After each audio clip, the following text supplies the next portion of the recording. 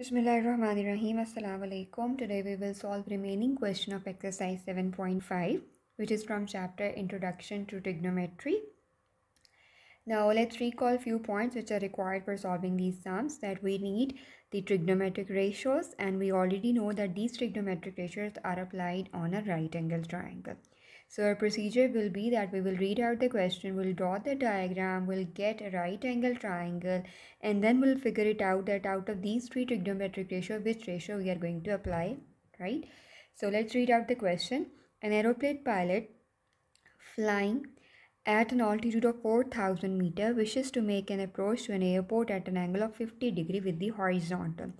So the plane is at the height of 4000 meter so this is the plane let's say and it is at the height of at an altitude of 4000 meter. So we got one component of right angle triangle which is the perpendicular.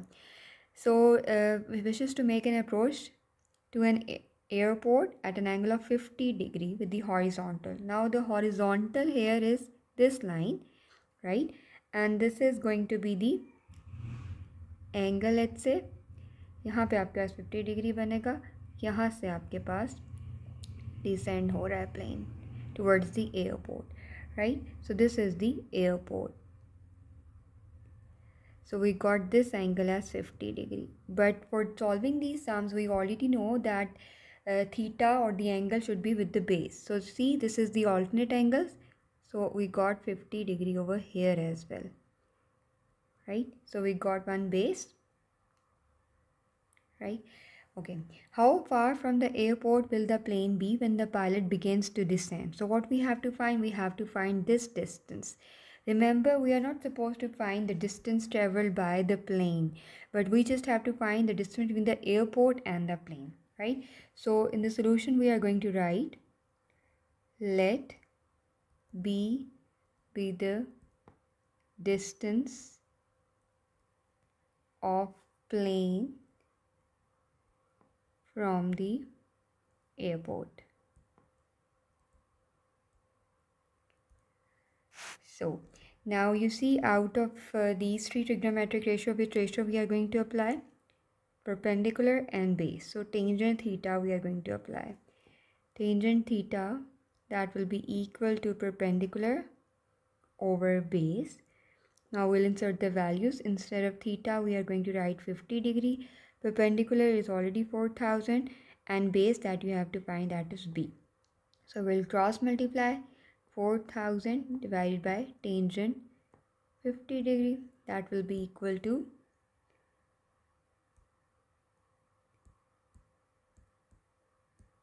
right. So at the end you have to write the plane will be 3356.4 meter far from the airport.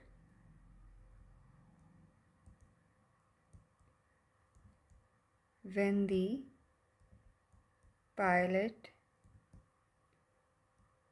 begins to descend. Right?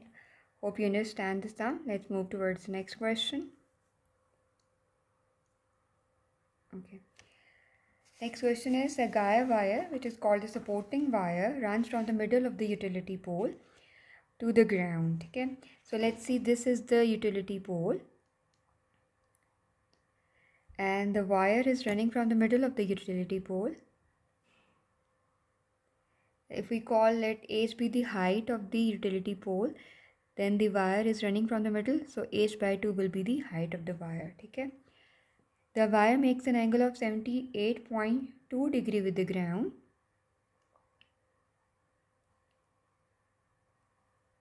So this is going to be the angle that is 78.2 degree. I am not going to make the exact angle but just I am just going to I'm, I'm just drawing the uh, diagram right now with the ground and touches the ground 3 meters from the base of the pole. So this we got 3 meters. Find the height of the pole so that we have to find height right.